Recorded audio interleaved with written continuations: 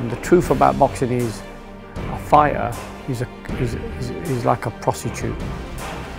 Okay, you're going to get used.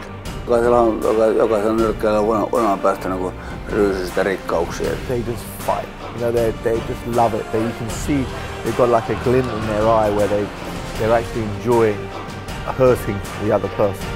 People think it's brutal because you're fighting, of course, you know. I was more angry with myself for getting caught with a, with a big shot.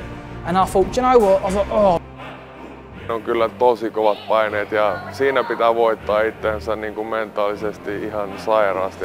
Ja mitä siellä oli sitten tavallaan, kun ne esiriiput aukesi, niin ei mitään. Kyllä mä niin kuin voin sanoa, että mä rakastan nyrkkeilemistä ja ammattinyrkkeilyä. Sitä, sen, kaike, sen kaikessa tota niin, raakuuksissaankin. Niin kuin.